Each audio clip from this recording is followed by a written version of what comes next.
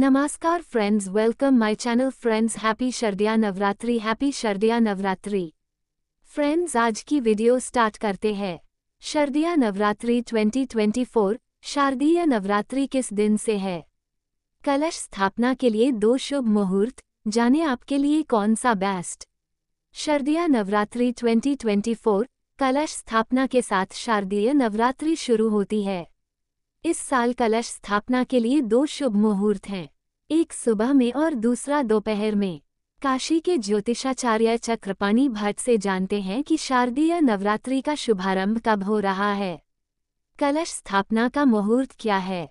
इस साल शारदीय नवरात्रि का शुभारंभ इंद्र योग और हस्त नक्षत्र में हो रहा है। शारदीय नवरात्रि 2024 शारदीय नवरात्रि का प्रारंभ पितृपक्ष के समापन के बाद ही शुरू होता है। सर्व पितृ अमावस्या यानी अश्विन अमावस्या के खत्म होने के अगले दिन से शारदीय नवरात्रि कलश स्थापना के साथ शुरू होती है। अश्विन शुक्ल प्रतिपदा तिथि को शारदीय नवरात्रि का पहला दिन होता है। उस दिन सुबह में स्नान आदि से निवृत्त होने के बाद कलश स्थापना करते हैं। माँ दुर्गा का आह्वान होता है, फिर व्रत, पूजन आदि करते हैं। इस साल शारदीय नवरात्रि की कलश स्थापना के लिए दो शुभ मुहूर्त हैं। आपके लिए कौन सा अच्छा रहेगा? आइए काशी के ज्योतिषाचार्य चक्रपाणी भट्ट से जानते हैं कि शारदीय नवरात्रि का शुभारंभ कब हो रहा है।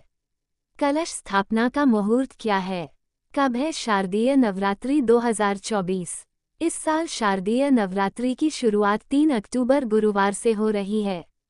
पंचांग के अनुसार आश्विन शुक्ल प्रतिपदा तिथि 2 अक्टूबर को देर रात बारह बजकर अठारह मिनट से शुरू हो रही है और 4 अक्टूबर को तड़के दो बजकर अट्ठावन मिनट पर खत्म होगी।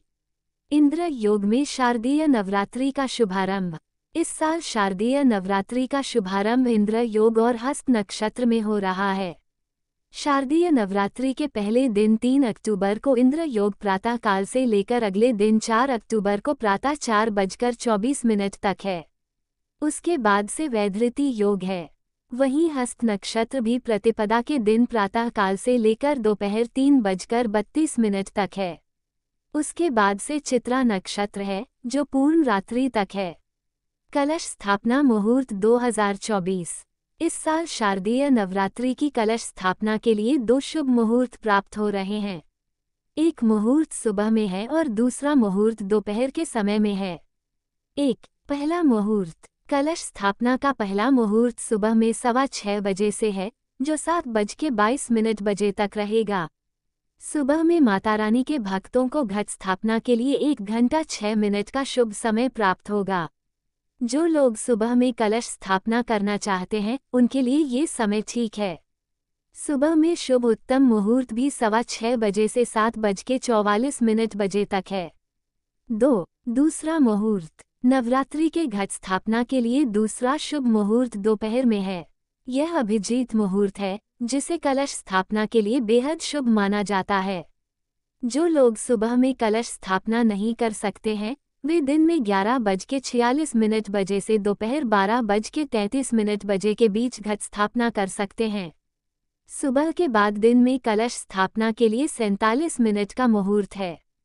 नवरात्रि का पहला दिन। नवरात्रि के पहले दिन माँ दुर्गा के प्रथम स्वरूप माँ शैलपुत्री की पूजा की जाती है।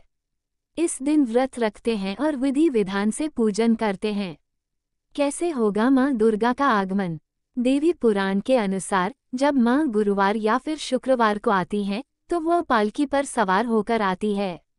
माँ की ये सवारी काफ़ी शुभ मानी जाती है।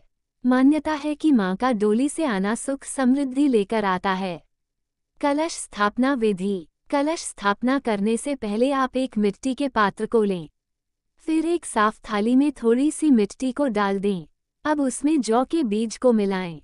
इसके बाद इसे मिट्टी के पात्र में डाल दें और पानी से छिड़काव करें। अब आप एक तांबे के लोटे पर रोली से स्वास्तिक का चिन्ह बनाएँ। फिर उसके ऊपरी भाग में मौली बाँध लें। अब लोटे में साफ़ जल के साथ उसमें थोड़ा गंगाजल भी मिला लें। फिर उसके ऊपर दूब, अक्षत, सुपारी और कुछ पैसे रख दें। इसके बाद आप आम या अशोक की पत्तियाँ कलश के ऊपर रख दें। एक पानी वाले नारियल को लाल चुनरी से लपेटकर मौली बाँध दें। फिर इस नारियल को कलश के बीच में रख दें और बाद में इसे पात्र के मध्य में स्थापित कर दें। इस दौरान माता रानी के मंत्रों का जाप करते रहें, इससे देवी प्रसन्न होती हैं। फ्रेंड्स मारे वीडियो कैसे लगा है? ज़रूर कमेंट करके बोलना। Friends please please like comment subscribe और शेयर करना नहीं भूलना। और friends thank you thank you thank you so much और धन्यवाद। जय माँ दुर्गा, जय माता रानी।